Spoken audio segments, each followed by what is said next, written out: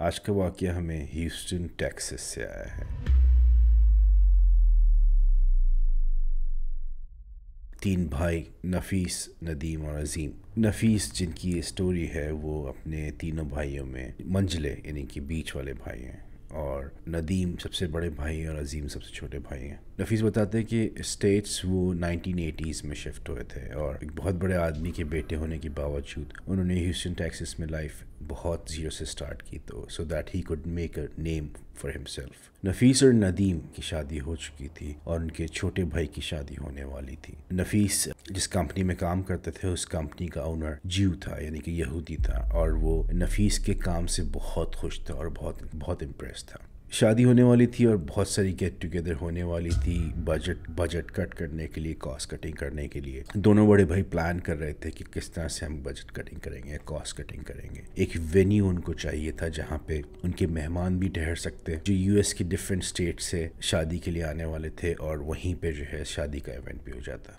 नफीस ने अपनी यहूदी बॉस को एक दिन बताया कि इस तरह से उसके छोटे भाई की शादी है और वो थोड़ा सा परेशान है कि वेन्यू किस तरह से अफोर्ड करें। बिकॉज़ सबसे बड़ा जो चंक ऑफ़ बजट लेके जा रहा था वो वेन्यू और उन मेहमानों को रुकाने के लिए या स्टे के लिए मोटेल का खर्चा था। नफीस के बॉस ने उसको बताया कि उनके पास एक बहुत बड़ी प्रॉपर्टी खाली पड़ी हुई है, जो कि फुल्ली फर्निश्ड है। वो साफ़ सुथरी जगह है, वहाँ पे बहुत सारी पार्टीज़ ऑलरेडी उनका बॉस थ्रो कर चुका है and it's a perfect venue for the event Nafees ने कहा कि वो उस प्रॉपर्टी को अफोर्ड नहीं कर सकता, जिस जिस पे उनके जूश बॉस ने बताया कि he is very happy with his work he want him to take the place for the event free of cost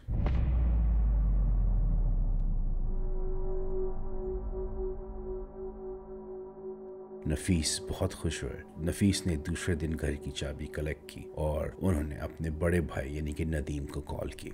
उनके भाई ने बताया कि अभी तो हम वेन्यू देखने नहीं आ सकते, लेकिन तुम एक काम ये करो कि तुम जाओ और सुबह वो वेन्यू देख लो। बिल्कुल वैसे ही हुआ। दूसरे दिन नफीस ने डिसाइड किया कि मैं ऑफ़िस के बाद जाके वेन्यू देखूँगा और उसके बाद फिर मैं उनको अपडेट कर दूँगा। ऑफ़िस उनका पाँच बजे ऑफ़ हो चुका था लेकिन डे लाइट सेविंग का टाइम चल रहा था तो अभी भी दिन था, अभी भी रोशनी थी। नफीस बताते हैं कि ऑफ़िस से निकल के उन्होंने गूगल मैप पे वेन्यू मार्क किया और उसकी तरफ़ ड्राइव करना शुरू कर दी। वेन्यू उनके वर्क प्लेस से 45 मिनट्स की ड्राइव पे था। जब नफीस वेन्यू पे पहुँचे, वो वो ह्यूस्टन टेक्सास के करीब एक बहुत पॉश इलाके में वो बैंगलो या वो विला या वो वेन्यू था। उसके अंदर हॉर्स शू शेप की पार्किंग थी, यानी कि एक साइड सेंटर और दूसरी साइड से एग्जिट हो। बाहर से वाइट था और बहुत खूबसूरत लकड़ी का बहुत बड़ा दरवाज़ा था, जो कि बहुत ही हसीन था। उस दरवाजे से आप बैंगलो के अंदर या या विला के अंदर एंटर होते थे। बाहर बाउंड्रीज बहुत खूबसूरत, बहुत हसीन थी। घर बिल्कुल ऐसे जैसे अनटच था और वो रोज़ाना मेंटेन होता था।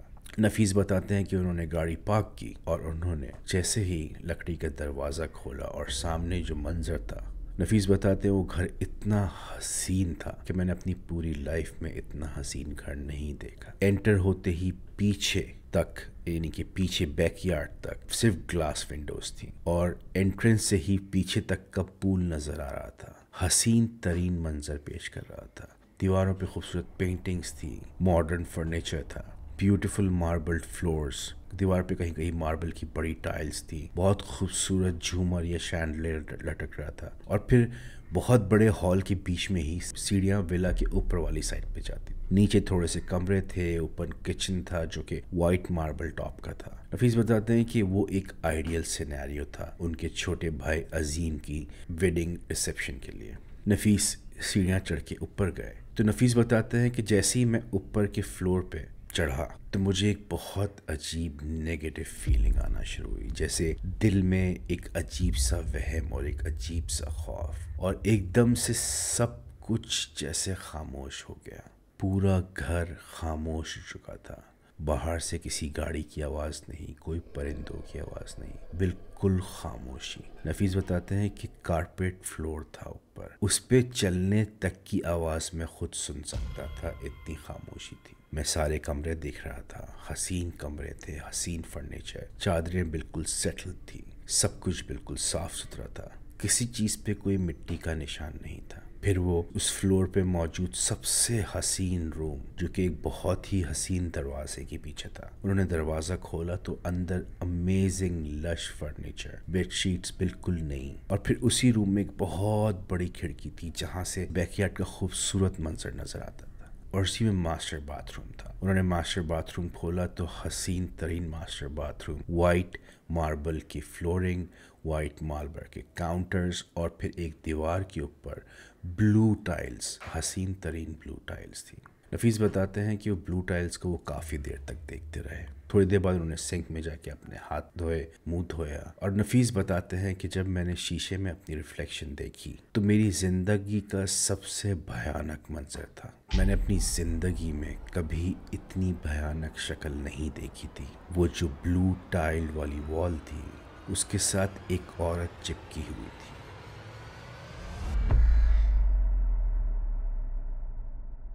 जिसने नीले कपड़े पहने हुए थे, उसका मुँह डिसफिगर्ड और भयानक था और वो नफीस को गुस्से में घूर के देख रही थी। नफीस ने नलका बंद किया, आयतल कुर्सी पढ़ना शुरू की और भागते हुए, रूम से भागते हुए उसने राइट पे ब्लू वॉल की तरफ़ देखा भी नहीं और वो सीढ़ियाँ उतर के दरवाज़ा लॉक करके गाड़ी में बैठ के भाग गए। वो रात को घर आए, अपने भाइयों से मिले और अपने भाइयों को पूरा मुआजरा समझाया।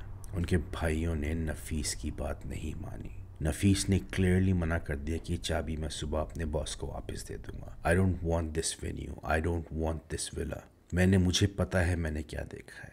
बाद में नफीस माशाल्लाह से बहुत ही नमाजी परहेजगार आदमी है। वो उम्र कर चुके हैं। वो कई सारे हज अदा कर चुके हैं।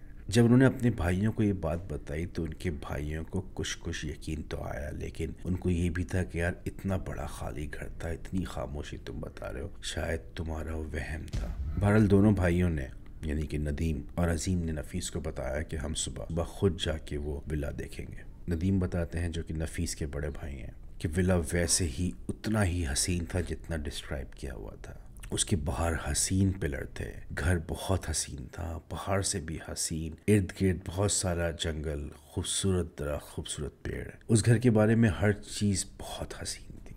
नदीम बताते हैं कि उनके हाथ में कुरान मजीद था। नदीम कुरान मजीद इस मकसद से लेके गए थे कि शादी का घर है और हम वहाँ जाके कुरान मजीद रखेंगे। और उनके जहन में कोई और बात नहीं थी। नदीम बताते हैं कि वैसे ही हसीन तरीन लकड़ी का दरवाज़ा जब उन्होंने खोला तो एक अजीब सी स्मेल एक अजीब सी डिप्रेशन जैसे उनके दिल धड़कना बंद हो गए और एकदम से बिल्कुल खामोशी। ना परिंदों के बोलने की आवाज़, ना बाहर की किसी चीज़ की आवाज़। घर में पिन ड्रॉप साइलेंस और अभी वो सोच ही रहे थे कि ऊपर वाले फ्लोर से एक औरत की आवाज़ आई गेट आउट और जैसी आवाज़ आई तो दोनों भाइयों ने एक दूसरे का मुँह देखा। फिर से आवाज़ आई गेट आउट दोनों भाइयों ने कुरान मजीद उठाया, सीने पे लगाया, दरवाज़ा बंद किया और वापस घर आ गए। नफीस ने चाबी जाके दूसरे दिन अपने बॉस को दी और उसको बोला कि your house is haunted why would you do that to us उनके इस यहूदी बॉस ने इस बात को नहीं माना और हंस के टाल दिया कि ये कैसे हो सकता है। जब बहुत इन्फॉर्मेशन निकलवाई तो पता चला कि इस घर में एक औरत रहती थी जो कि विच क्राफ्ट करती थी। अब वो विच क्राफ्ट अच्छा था या बुरा था, या नेगेटिव था या पॉजिटिव था, ये कोई नहीं जानता। और वो ब्लू कपड़े पहनती थी, उसका वो आइडियल कपड़े थे। पूरे अमेरिका से लोग उसके पास फॉर्चून टेलिंग के लिए आते थे। और वो बहुत फ़ेमस थी अमंग द लीड्स किसी वजह से उस औरत के शोहर ने उसका कत्ल कर दिया। और उसकी बॉडी उस ब्लू ब्रिक वॉल उस ब्लू टाइल्ड वॉल के पीछे दफना दी। ये केस बहुत चला और बाद में पता चला कि ये सब क्या हुआ था। तो नफीस ने उस दिन उस बाथरूम में उस औरत की रूह देखी और उस औरत से बर्दाश्त नहीं हुआ कि तीन मुसलमान लोग कुरान मजीद लेकर उसके घर में आए। शायद उस रूह से वो बर्दाश्त नहीं हुआ। यही वजह थी कि सिर्फ़ इन तीनों भाइयों को उसने एक्सेप्ट नहीं किया, वरना अकॉर्डिंग टू नफीस बॉस वहाँ पे बहुत से इवेंट्स करवा चुका था, बहुत सारी पार्टीज़ हो चुकी थी। आपका क्या ख्याल है स्टोरी के बारे में? आज की वीडियो में इतना ही, अगली वीडियो में मिलते हैं। जब तक के लिए, खुदा हाफिज़।